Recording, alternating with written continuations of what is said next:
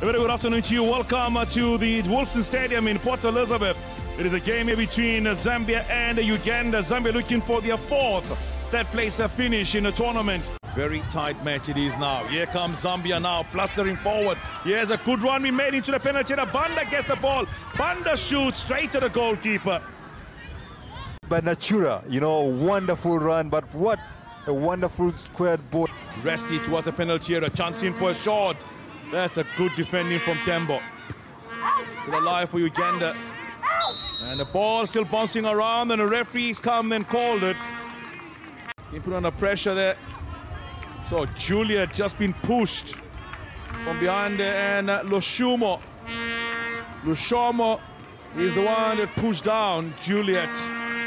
It is going to be Hazel Nali up against Tracy Jones Akiror for Uganda.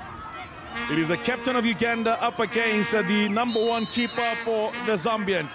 Yes, Tracy throws it home, near side, and 1-0 to Uganda. Points to the heaven, a second goal of a tournament, five starts for her. Nalukenge, tricky customer, and picked up the sport. The goalkeeper guessed right, but the height and the pace, second to none. Pick a spot, power behind the ball. What a cool finish. Uh, Mr. Batabaira himself. You know, when I went in the dressing room, it was all about, you know, what you tell these young ladies. Yes, Banda now! Oh, pulls it wide! Have a look at this here. The defense stand for the first time, fell asleep, and Banda stayed on her feet even though she was challenged for the ball. And she, the idea was great. She was trying to go far post. There was nothing wrong with what she did there. She just dragged it wide. You also have to keep credit to Ruth. Uh, I'll, I'll have, I would, I would prefer her trying to keep a little bit the field wide up, to stay a little bit wide and make sure she can hurt the opponent.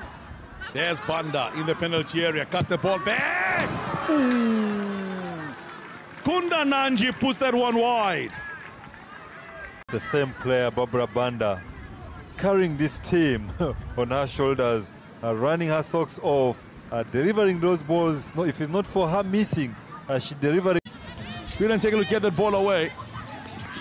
And that will be a corner taken quickly now. Mwakapila! Straight to the goalkeeper.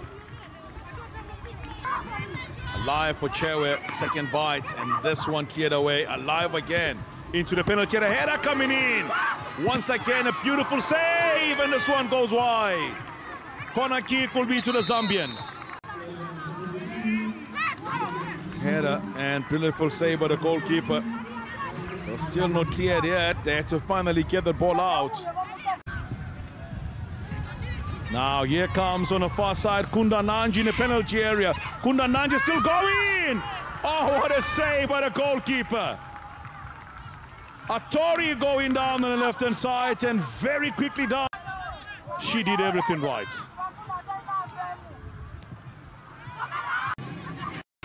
Here they are on the far side. It's a long ball played in this time. Keep over line! And just diving over the crossbar from Belemu. Almost caught the keeper all there. The Zambians in the second half. With the wind supporting it. Few seconds uh, minimum time from the referee.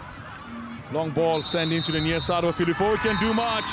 And the referee, Akhona Makalima, blows a whistle once, twice, and thrice. And Faridah Bulega and company have managed to come out here and get themselves a bronze medal, winning by one goal to nil. a penalty converted by Akiror, the captain of uh, the Ugandans. As you can see now, down on the knees and knows that they've done it. They said they wanted competition and challenge, and they wanted to play Zambia, they wanted to play Cameroon, they wanted to play South Africa, they played all the three nations that are going to the AFCON. They know what they can do going forward. They have a very young squad, they've a lot, and I tell you, the future is bright when you look at what we have seen so far in Ugandan football.